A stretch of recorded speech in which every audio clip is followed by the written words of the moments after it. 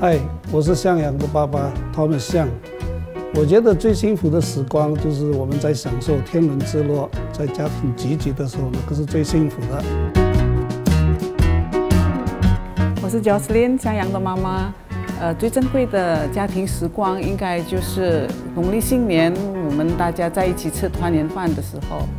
I think the most precious memory of my family is when we can all sit around the dining table and enjoy a home-cooked meal, preferably by my dad or my grandmother.